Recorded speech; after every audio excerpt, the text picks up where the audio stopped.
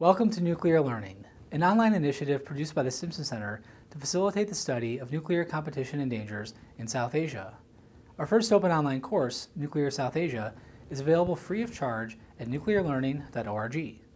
In this video, we speak with Oriana Skylar Mastro, an assistant professor of security studies at the Edmund A. Walsh School of Foreign Service at Georgetown University and a Jeanne Kirkpatrick Scholar at the American Enterprise Institute. We discuss Chinese perceptions of Indian resolve post Doklam. The short answer is yes, but only slightly.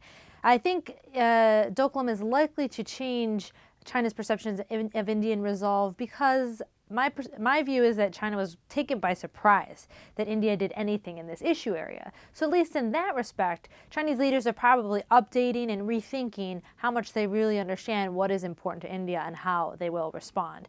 However, in the end, both sides did decide to disengage, and so it seems that maybe China learned the lesson that India is resolved to react, but they're not necessarily resolved to fight over some of these issues.